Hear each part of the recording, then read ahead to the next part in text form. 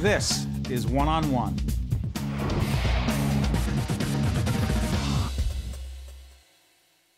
Charles Selengut is author of Sacred Fury Understanding Religious Violence and a professor of sociology at County College of Morris. Good to see you, Charles. Hi. Uh, violence and religion, and people engage in all sorts of violence in uh, the name of religion. We uh, doing this program after the bombing in Boston. Is that an example of what we're talking about? I think so. All religions have messages of peace and love, but they also have prescriptions for violence against those peoples, governments, other religions they consider uh, evil or dangerous to their own thinking. And there's, there's no one religious group that engages in this. I mean, there are some folks who call themselves Christian um, who, in fact, can justify or do justify the bombing of an abortion clinic or, or the killing of uh, a physician who happens to uh, perform an abortion and say they're doing it in the name of Christianity because they believe a certain thing about abortion, correct? Correct. Is that the same thing? That is an example of religious violence. And it's important to realize that the, the actual number of people who actually commit violence are very few. Mm. But there are hundreds, sometimes hundreds of thousands, of supporters who themselves will not engage in violence, but they aid, abet. You mentioned the abortion those yes. killers of abortion doctors the, in Rochester and upstate New yes. York. These people didn't, this man didn't act alone. He had safe houses, money, he had associates in Europe. So religious violence doesn't only refer to those people, hmm. individuals, mm. who act, as in the case of Boston. That these acts are never individual, they're always communal. There's always a large network. One of the problems with the media in the West, in Europe and in America, is the refusal to see these violence as communal. It's easy to see these as these third people, sometimes they are, yes. or they're poor. There are bombers as, uh, as Mohammed, uh, as the, the lead bomber in uh, Mohammed Atta in 9/11. 9/11, who was the graduate of the uh, Hamburg Technical Institute. He won the first prize. But he was aided and abetted by an international group. Across the board, that's the nature of a religious violence. It's the refusal, in a kind, it's really a kind of Western ethnocentrism, to refuse to recognize that while religion uh, gives many loving and kind mm. and does much good, worked against racial bigotry, works for world peace, there is an element in all religions where violence is legitimated and justified. So here's the question What is it that we do about this if, in fact, it is less isolated and more pervasive? Given the aiding and abetting that you described, that's such a wonderful American question. You want the solution? An American question. That's all I've got. Okay. You know? uh, the first step is real understanding. The problem is that this is not a criminal act. This is not psychological deviance. This, these are people acting in terms of their religious beliefs. It's not a criminal act? No, it's a criminal act, but it's not, it's absolutely criminal. It's not criminal in the sense that people uh, hold up a 7 Eleven or they murder somebody for money. In that sense, it's not criminal. The, the people themselves who do it believe they're acting for godly and divine purposes.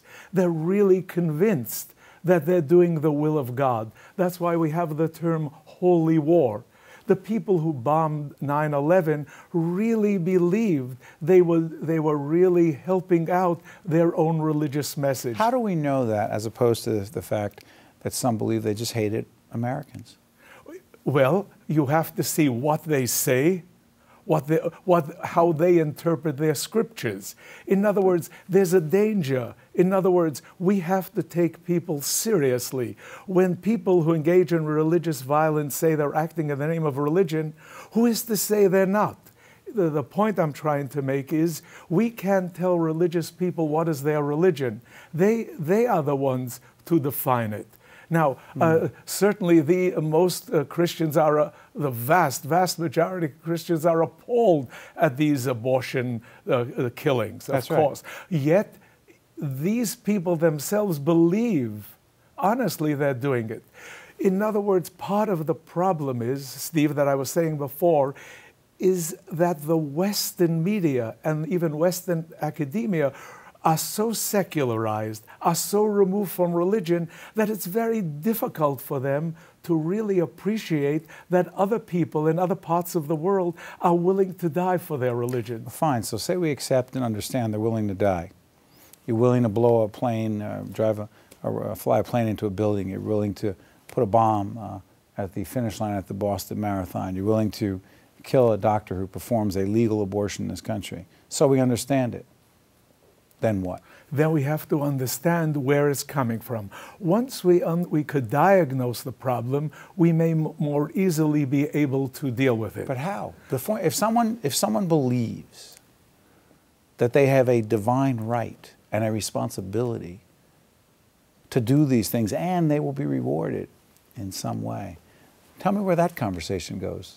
all we could do is, and is that we take on these people, and this is a war, like a war against Nazism or the war against communism. In other words, there, there, wha- what the West has not been able to do in, to this point is precisely to recognize, and that's why I wrote my book, Sacred Fury, to indicate that this fury is. To the, to the perpetrators, sacred, and this is a war. There's no real conversation, though. Do you acknowledge that there is no dialogue that can be had with them? There is a dialogue, I believe. In this, I may be optimistic, but the dialogue has to be only taken by people who can share the religious worldview.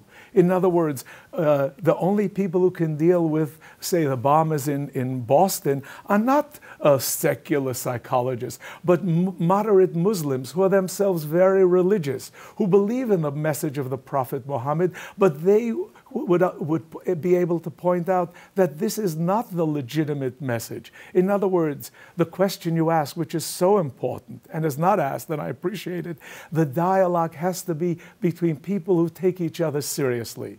In other words, if you get a secular person and another secular person, they could agree on religious violence. But that's it- not the case That's here. no. You need the dialogue has to be taken with people who take these people seriously and appreciate their traditions. Uh, Charles Selengut, you've given us so much to think about, um, talk about, and ponder. Sacred fury, understanding, trying to understand religious violence. Please come back again. We'll talk more. Thank you. Thank you. One on One with Steve Adubato has been a production of the Caucus Educational Corporation, celebrating 25 years of broadcast excellence. Funding for this edition of One on One with Steve Adubato has been provided by Sun National Bank, Qualcare Inc., New Jersey Manufacturers Insurance Group, PSE&G, Fedway Associates Inc., the Russell Berrie Foundation, and by CohnReznick, Promotional support provided by the Star Ledger and NJ.com, and by the New Jersey Business and Industry Association. Transportation provided by Airbrook Limousine. One on One with Steve Adubato has been produced in partnership with St. Joseph's Healthcare System.